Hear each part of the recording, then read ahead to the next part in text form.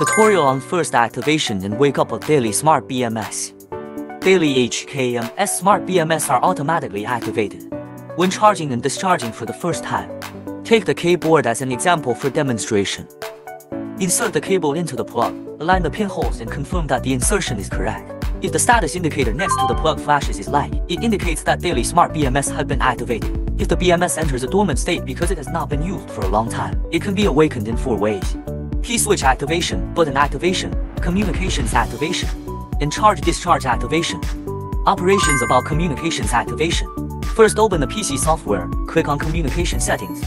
Adjust the baud rate to 250 and then click to turn on CAN.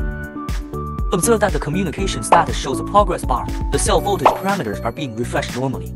And then the BMS status indicator light flashes indicating that the BMS had been awakened. Operations about charge discharge activation.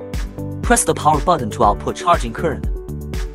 Observe that the communication status shows a progress bar. The cell voltage parameters are being refreshed normally. And then observe that the BMS status indicator light flashes, indicating that the protection board has been awakened. Key switch activation and button activation involve customized software, so it is inconvenient to demonstrate. If the BMS cannot be used after waking up, contact our relevant customer service.